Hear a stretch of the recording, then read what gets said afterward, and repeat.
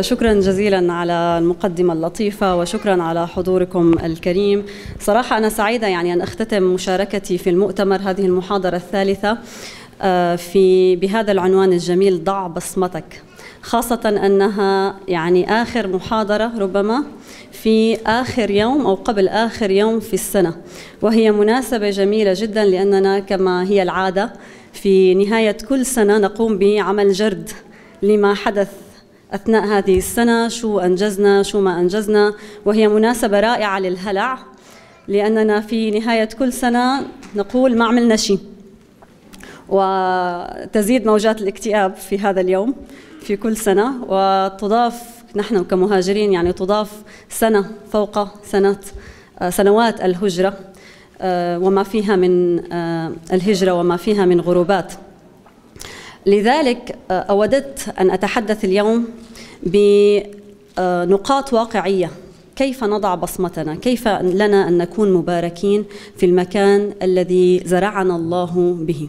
لا أريد أن يكون الكلام هنا حماسيا وعاطفيا كباقي المحاضرات. نود أن يعني نفعل خطوات أو يكون لنا خطوات واقعية وعملية. لذلك قبل أن أبدأ أود أن أسأل ثلاث أسئلة. لا أريد إجابة عليها لكن أود منكم أن تكتبوا هذه الأسئلة وتضعوها في مخطط السنة القادمة والسنوات التي تليها. السؤال الأول كم شخص غير مسلم أمريكي تعرفت أو تعرفتي عليه هذه السنة وتبادلتم أرقامكم فيما بينكم؟ هذا السؤال الأول. السؤال الثاني كم شخص أمريكي غير مسلم من خارج دائرتك المعتاد عليها والمتعارف عليها؟ غير مسلم أمريكي. دخل منزلك أو دخلت أنت منزله هذه السنة. السؤال الثالث للأمهات. كم مرة قمت بتنظيم بلاي ديت أو بالعربي جمعة للأطفال سواء في منزلك أو في حديقة أو في أي مكان آخر. سؤال للأم وللأب. كم مرة قمت بهذه السنة بعمل بلاي داي جمعتي فيها أصدقاء أطفالك؟ مش من دائرتك مش من أصدقائنا نحن المسلمين من دائرة وأصدقائهم في مدارسهم هم مدارس الأمريكية. كم؟ هذه ثلاث أسئلة. ضعوها جانبا سأجيب عليها في نهاية هذه الكلمة إن شاء الله إذا بقي لي وقت. النقطة الأولى. لكي أكون مباركا ولي وأضع بصمة لي في المكان الذي أنا فيه. علي أولا أن أقتنع بالمكان اللي أنا موجودة فيه حقيقة لا خيالا. المشكلة التي نقع فيها نحن كمهاجرين أننا نعيش حياة غير مستقرة وهي يعني هذه الحياة لها اسم في العلم الاجتماع وعلم السياسة اسمها ال trans area وهي تسمى بمنطقة ترانزيت. شفتوا ترانزيت لما نبدل طيارات؟ فهي المنطقة اللي نحن هلأ نعيش فيها كمهاجرين اسمها trans area لأننا لا نعرف كم سنة سنعيش هنا. وهذه أحد المشكلات والتحديات التي تمنعنا من وضع بصمات لنا في المجتمعات والأماكن التي نعيش فيها. لماذا؟ والله وبالحديث عن موضوع الهجرة والمهاجرين ما قابلت أحد أنا صار لي في الهجرة عشر سنوات بين فرنسا وبين أمريكا ما قابلت أحد مهاجر وسألته كم ناوي تعيش في هذا البلد وقال لي خمس سنوات هذا هو الجواب يلي كل شخص سألته من المهاجرين الجدد والمهاجرين القدامى كم سنة ناوي تعيش في هذا البلد؟ لا إن شاء الله مو أكثر من خمس سنين خمس سنين وراجع على البلد كلنا قلنا هي الكلمة. مين منا رجع بعد خمس سنين على بلده؟ ولا أحد. وهي المشكلة لأننا منا مقتنعين أن هذا الوطن هو وطن جديد لنا. نعيش هنا وأرواحنا وعواطفنا وخيالنا يعيش في أماكن أخرى في, في الوطن الأصلي. وبالتالي لم نستطع أن نترك بصمة في هذا البلد الجديد ولم نترك بصمة في بلادنا. أضعنا الحياة هنا وهناك. لما سافرت أول مرة وطلعت في الطائرة من من سوريا لفرنسا طبعا كان هذا جدا حدث مؤلم وأعتقد أن كل شخص منكم واجه هذا الشعور لما آه، هاجر أول مرة. كتبت نص وكتب هذا النص بدموع العين فعلا. كان هذا النص هو نص فيلم هاجر يلي عملته من ثلاث سنوات بعام 2015 عن هجرة الرسول عليه الصلاة والسلام.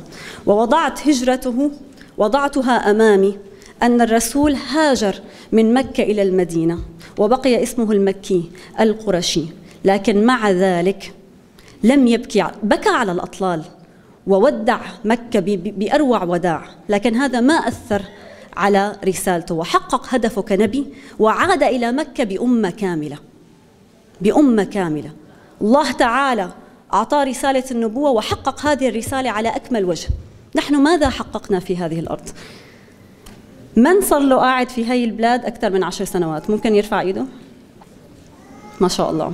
يعني إحنا من المهاجرين القدام الجدد أنتم المهاجرون القدامى. والله يا اخو يا أخواتي أخذني بعضهم فل... أنا خايفة أسأل هذا السؤال والله. من صار له هون 30 سنة؟ ما شاء الله. أخذني وقت طويل والله أخذني وقت طويل لأقتنع أن مقامك حيث أقامك. عبد الرحمن الداخل لما خرج من من دمشق وخرج هاربا من الشام كان يمشي كل ما يمشي ينظر إلى الشام ويبكي. يمشي خطوتين وينظر إلى الشام ويبكي. فكان وقام ودعها برثاء جميل جدا لما قال قفا ودعا شاما ومن حل بالحمى. وقل لشام عندنا أن يودع فشو قالوا له أصحابه اللي كانوا معه؟ قالوا له يقال أن الأندلس شبهها. فقال لهم وليس الشبه كالأصل لكن نحملها معنا. فإن لم, فإن لم نكن فيها تكون فينا. حمل هذه الرسالة وهاجر. واليوم في الأندلس إلى اليوم معروف حمص الأندلس اللي هي إشبيلية. وقام وأسس وأقام الخلافة الأموية هناك. وسمي صقر قريش. هذه الرسالة نحن كسوريين وكمهاجرين علينا أن نتمسك فيها. للكل للكل.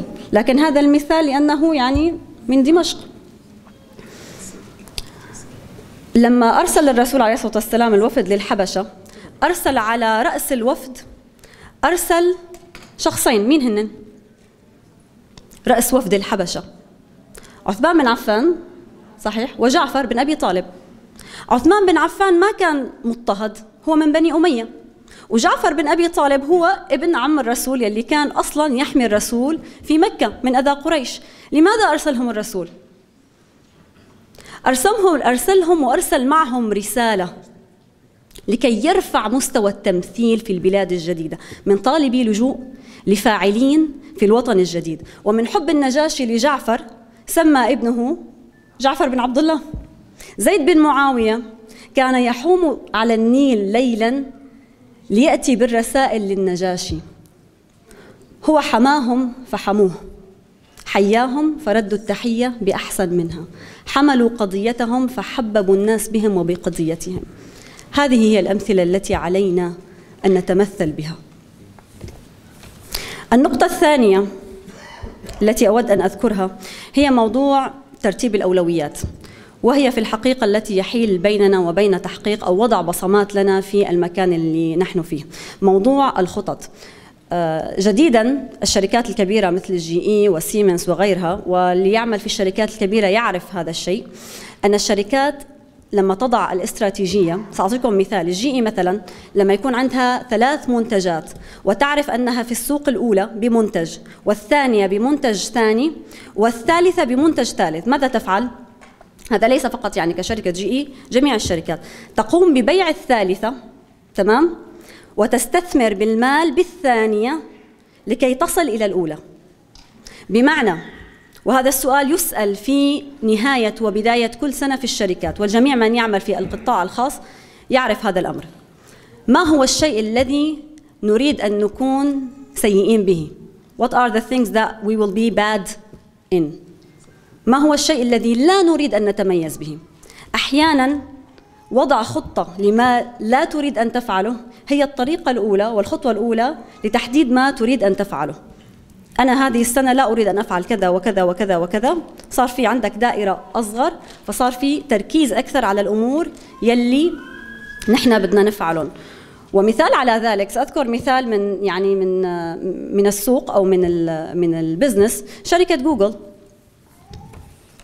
بس خمس دقائق. شركة جوجل ما هو اسم رئيس شركة جوجل الحالي؟ لاري بيج. الرئيس السابق. إريك شميث. كان 15 سنة في الشركة ويصنف اليوم صنفته فوربس في عام 2017 كأغنى آه، من أغنى 20 شخص حول العالم. قام بتحقيق يعني نجاحات كبيرة جدا لكنه أخفق بنجاح واحد. وبسبب هذا الإخفاق قدم استقالته وخرج من الشركة. في حدا منكم يعرف؟ he missed فيسبوك راحت عليه فيسبوك أخطأ. دخل في سوق وعمل جوجل بلس لكن ما قدرت تنافس جوجل ما قدرت تنافس فيسبوك فاضطر أن يخرج ويستقيل بسبب هذا الخطأ لأنه ركز على أمر كان متأخر عليه. كانت فيسبوك سابقته وحب أنه يعمل شيء. وطبعا هناك أسباب كثيرة لكن هذه هذا هو السبب الأساسي في هذا الأمر. في مجالي أنا كمهندسة أخذني وقت طويل لكي أقتنع أن مقامك حيث أقامك وأن عملي الذي أعمل به الآن هو الذي علي أن أتميز به. النقطة الثالثة التي أود أن أذكرها عن هذا الموضوع أن الأثر هو مستويات. وأنا أعتبر والله يا إخوتي أنا أعتبر وجودنا هنا يعني عليه زكاة علينا أن ندفعها. والله يوميا يوميا يأتيني لا أبالغ إذا قلت أكثر من خمسين رسالة يوميا من شباب جالسين في الوطن العربي وفي أوروبا يريدين يريدون أن يصلوا إلى أمريكا لأنهم يريدون فقط فرصة.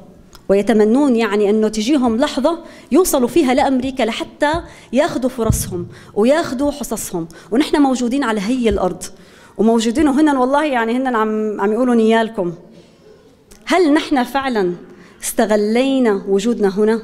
هل نحن فعلا قمنا بدراسة وأخذ الفرص الموجودة حوالينا واستغليناها أكثر استغلال هذا زكاة وجودنا هنا. فعل الخير أن نستفيد ونفيد. هذه هي النقطة. النقطة الأخيرة إذا كنا نريد أن نترك أثر هناك دائما نوع من ال misconception أو سوء الفهم أنه علينا لازم أن نكون دعاة أن نتحدث بالدين. الأثر يكون بالدين. لا هذا الأمر غير صحيح. دعوني أسألكم من أشهر مسلم اليوم في أمريكا؟ محمد علي كلاي. هل هو داعية؟ نعم.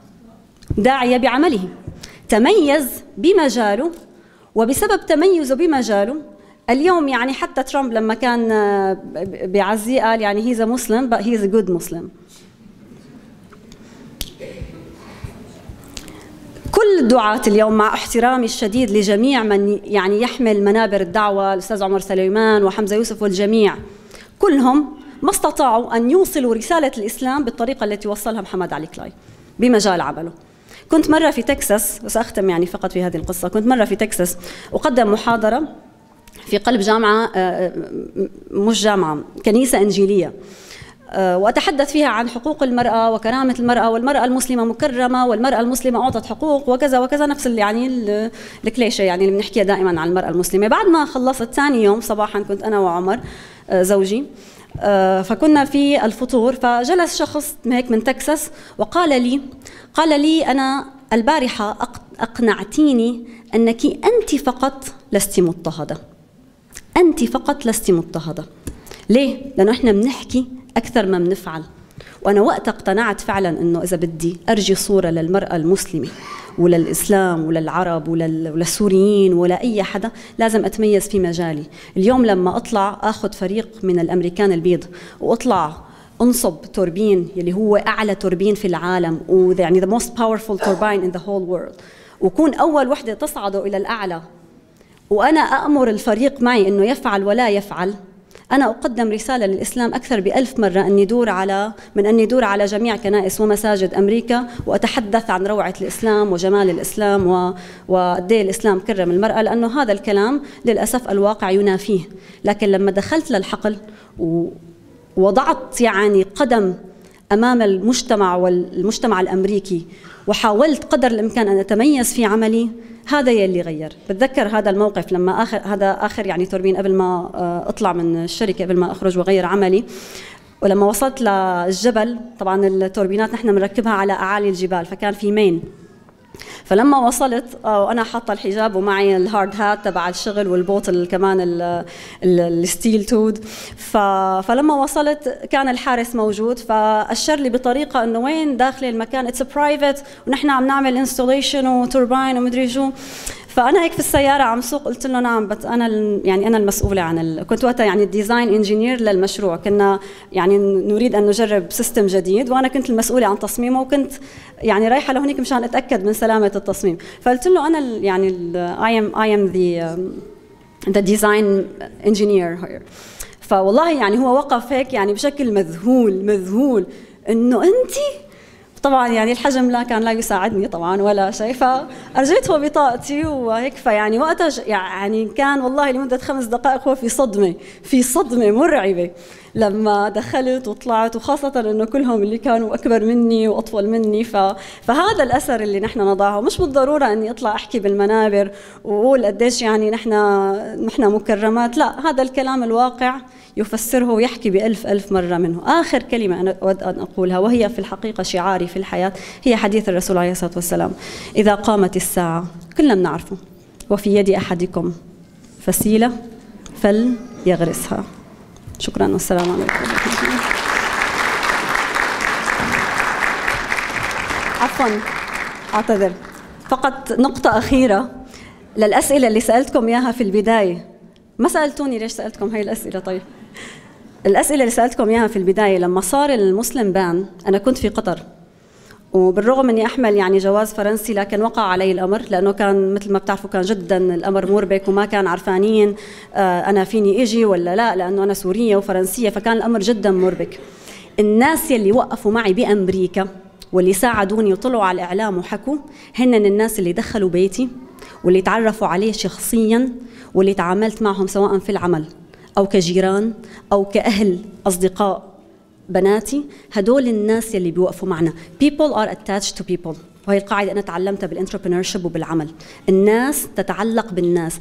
أكثر كل ما تعرفتي أكثر على ناس أمريكان هدول الناس رح يساعدوك ورح يوقفوا معك. لأنه حيعرفوا أنه أنت you are a good Muslim. فهذا هو السبب كان. السلام عليكم.